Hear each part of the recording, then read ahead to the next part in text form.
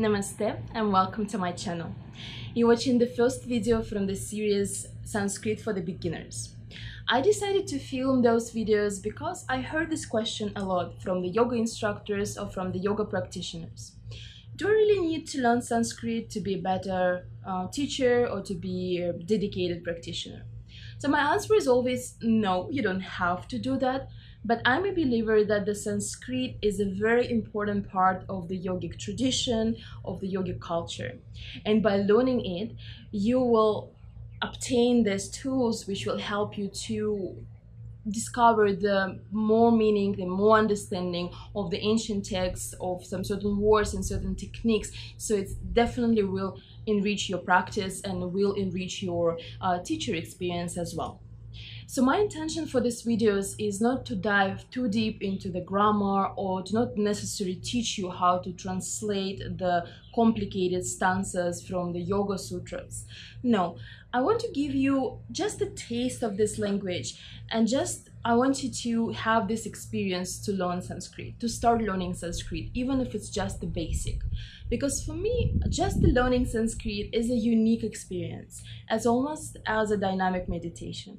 And I'm sure if you decide to join me on this journey, you will understand what I'm talking about.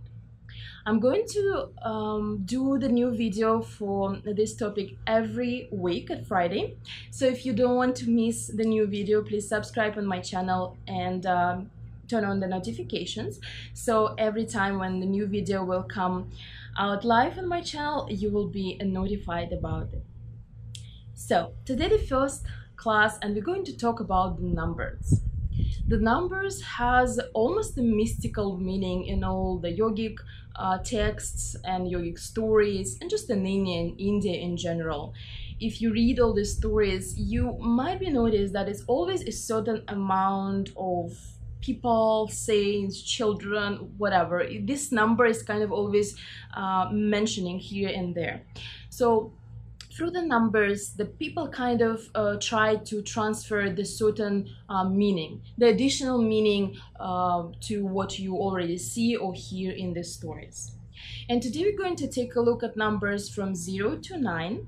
I will be showing you how you would write the number in Sanskrit because it's quite different from what we used to see, how you will pronounce it, I give you just a few examples of how this number can be used in a different words.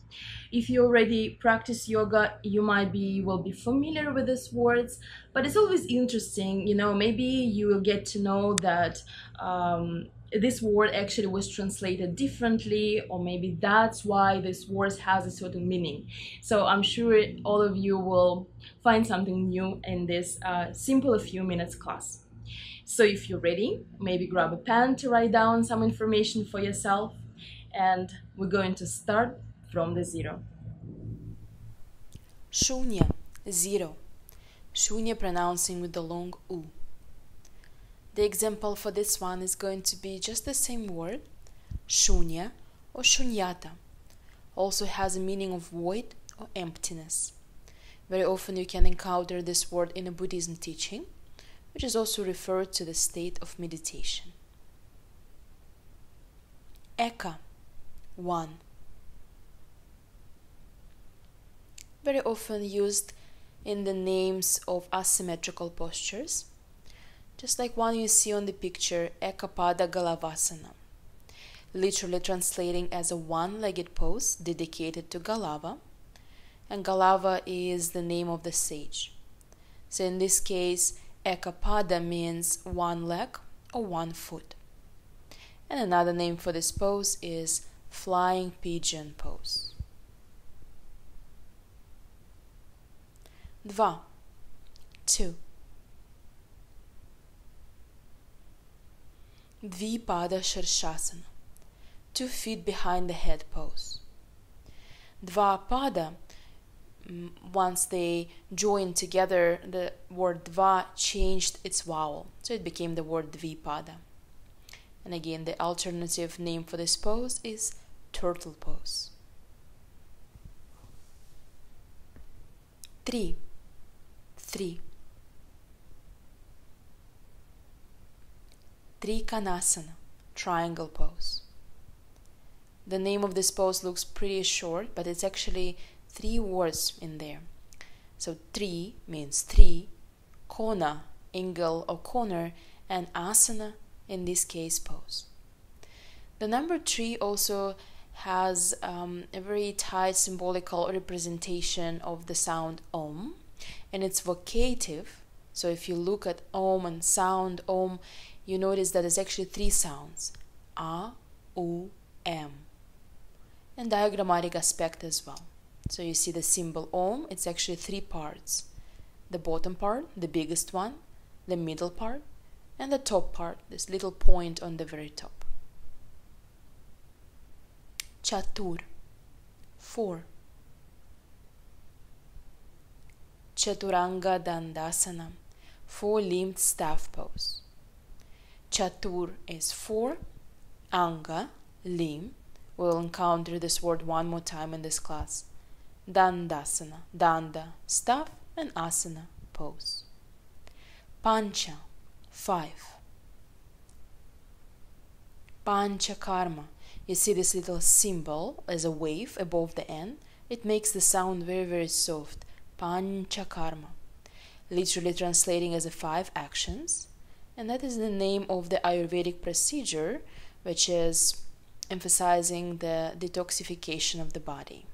Includes basti, herbalized oil enemas, nasya, nasal irrigation, vamana, therapeutic vomiting, virechana, purgation, Rakta Mokshana, bloodletting. I think in the modern uh, way, they uh, remove the vomiting and bloodletting right now and left only the oil and herbal treatment. Shat, 6. Very similar word from we had before, Shat Karma, and the translation in six actions. In the traditional yogic text, Shat Karma is the cleansing on the physical body as a preparation for the other practices of yoga, such as asana, breathing, or meditation. And it includes dhauti, the cleansing of the stomach, basti, of the intestine, neti, the cleansing of nasal passages, trataka, the gaze focusing at one point and in a way the cleansing of the eyes, Nauli, massage of internal organs, and Kapalabhati, vigorous breath, and Kapalabhati translating as a shining skull. Sapta, seven. Sapta Rishi, translating as the seven sages. The name Sapta Rishi very often can be found in the ancient texts and they considered to be a father of the Vedic tradition. But also, the word Saptarishi can be found in ancient Indian astronomy. The constellation of the Big Dipper, or Ursa Major, is called Saptarishi, and the seven stars representing seven rishis. They've been given names Vasishtha, Marichi, Pulastya, Pulaha, Atri, Angiras, and Kratu. Maybe a couple of these names sounds familiar for you due to the names of the asanas, which was dedicated to uh, the sages, to the rishis, such as Vasishthasana or Marichyasana.